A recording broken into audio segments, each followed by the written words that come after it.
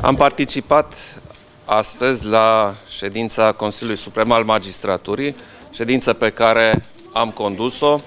Prezența mea uh, astăzi aici la CSM uh, se datorează faptului că avem o situație total neobișnuită. Guvernul uh, a aprobat o ordonanță de urgență noaptea, fără ca acest act normativ să fi fost pe ordinea de zi a Guvernului, fără avizul CSM.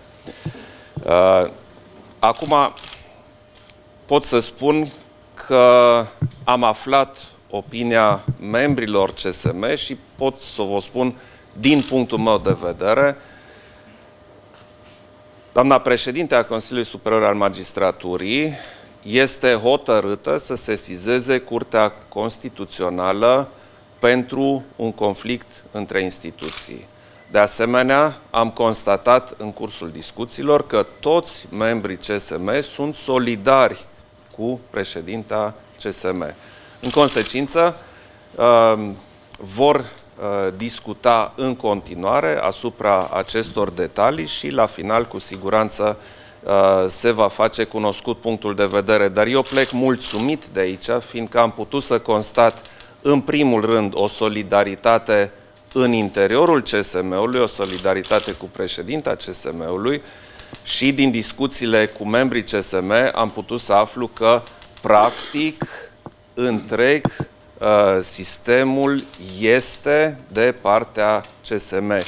Justiția în România este independentă, iar magistrații sunt indignați de felul în care guvernul a tratat această chestiune foarte sensibilă, chestiunea modificării codului penal și a codului de procedură penală prin ordonanță de urgență noaptea fără aviz. Din punctul ăsta de vedere există un conflict între puterile statului, între executiv și uh, puterea judecătorească, domnule președinte? Din punctul meu de vedere, acest conflict este evident. Și care este soluția și care ar putea fi efectul unei decizii în acest sens a Curții Constituționale?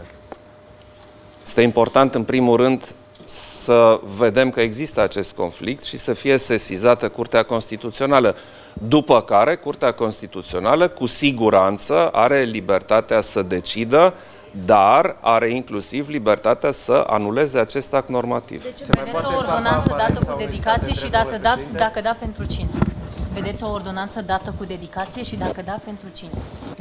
Nu, nu vreau să intru în, în astfel de detalii. Au fost multe lor de poziție și multă lume uh, a spus cu uh, punct și virgulă că sunt acte normative cu dedicație, au fost vehiculate nume, însă nu aceasta este problema. Problema este că în acest fel cum a procedat guvernul, nu se poate proceda într-un stat de drept.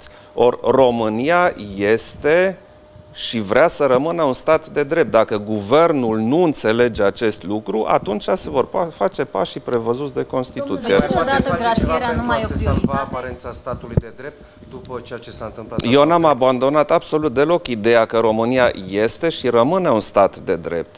Pentru asta sunt eu președinte și pentru asta fac acțiunile pe care le fac și le voi face în continuare. Deci, deodată pentru executiv, grațierea nu mai este o prioritate, iar prioritatea numărul unu devine modificarea aduselor, aduse codurilor.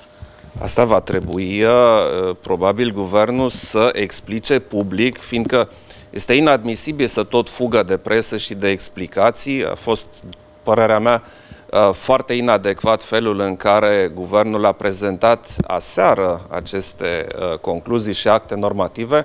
La un moment dat, uh, guvernul va trebui să dea socoteală, să explice românilor de ce a procedat așa și nu altfel. Intenționați să faceți o vizită și avocatului poporului? Asta discutăm mai târziu. Vă mulțumesc!